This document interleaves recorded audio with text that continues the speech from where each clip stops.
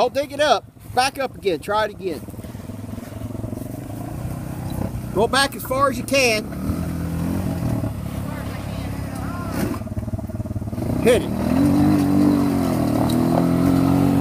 All right, hold on. She's stuck.